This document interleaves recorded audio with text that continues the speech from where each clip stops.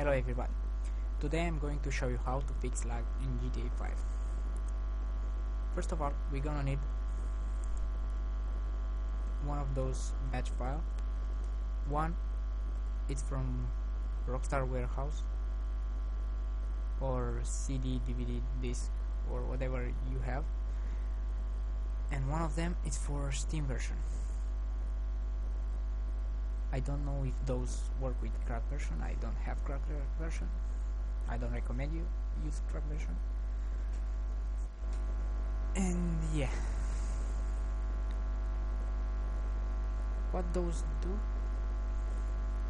So they just running the game. This one running from Steam. Run the game with ID 271590 starting a timer of 1 minute then setting priority for GTAV launcher.exe to low that will make the launcher use very very low CPU power. And will and then we will uh,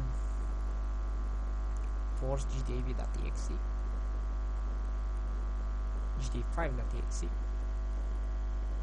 to use more CPU yeah the CPU that goes from this launcher it will be allowed to GTAB 5.exe that will make the game work faster. It will stop stuttering and all that shit. And um, Rockstar Warehouse or the CD DVD version just starting directly from uh, the bed. I, I'm not sure if this is the correct location of the game. You should put it by itself here. Just put it by itself here.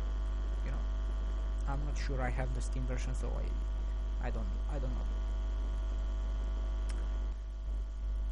Yeah, and when you run the game just open this thing.